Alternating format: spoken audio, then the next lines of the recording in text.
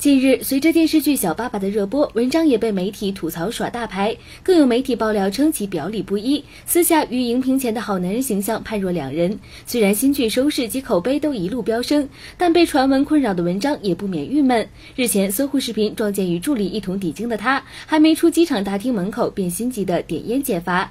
日前某天下午，搜狐视频在首都机场巧遇文章与助理一同返京。